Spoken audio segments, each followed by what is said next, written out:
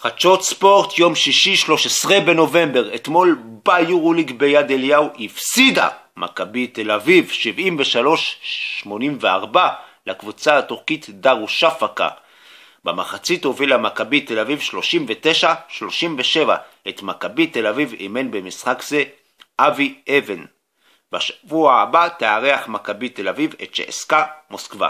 כדורסל ישראלי. אתמול הפסידה קריית גת להפועל אילת 75-104. את הפועל אילת במשחק זה אימן עודד קטש. אתמול במשחק נוסף בליגה הישראלית בכדורסל ניצחה בני הרצליה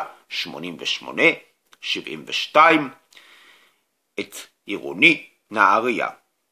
כדורגל אתמול הנבחרת הצעירה במוקדמות אליפות אירופה ניצחה 3-0 את נבחרת הונגריה.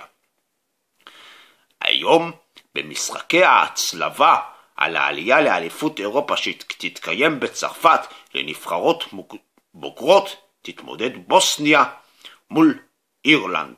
שידור בספורט 5 בשעה רבע לעשר בערב. עד כאן חדשות ספורט. להתראות.